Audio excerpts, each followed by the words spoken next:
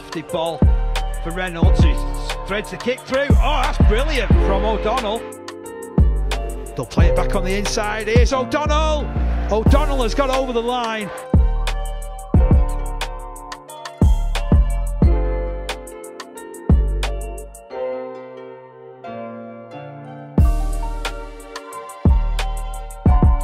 He it for Reynolds. There's players streaming up in support. Kai O'Donnell on the sweep, and he scores at the corner.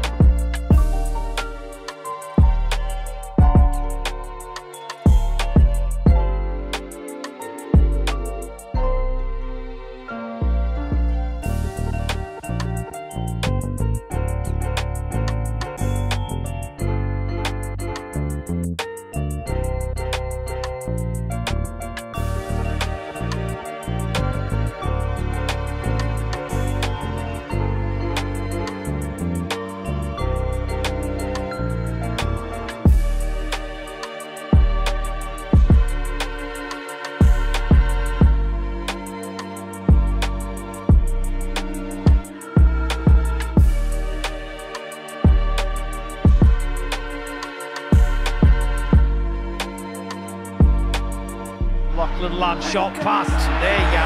Over the line. Too easy for O'Donnell. Too, too, too easy.